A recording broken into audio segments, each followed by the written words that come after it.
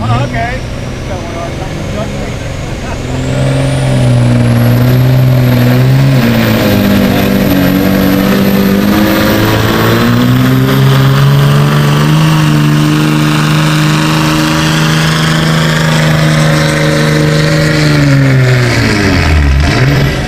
All right, a good run. That was Curtis Moore out of Core, West Virginia, 2007 Dodge. Next up, David Hickman out of Wayne.